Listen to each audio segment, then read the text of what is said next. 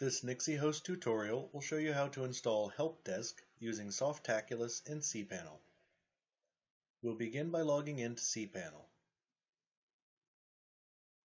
Scroll down to the Software section and select Softaculous Apps Installer.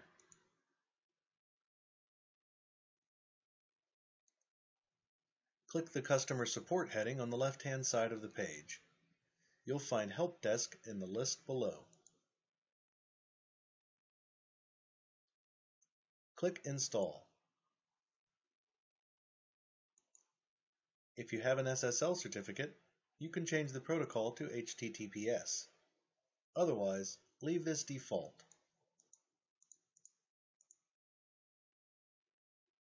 Select the domain you wish to install to from the drop-down menu.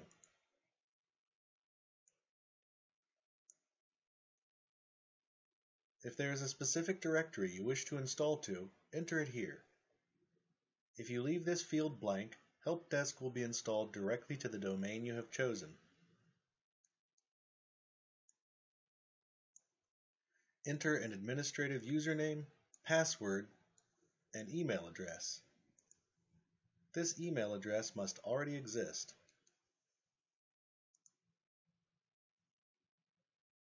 It's always a good idea to set up a cron job to back up your website. You can do this under the Advanced Options category. When you're finished with configuration, click Install. HelpDEZk will now be installed to your website.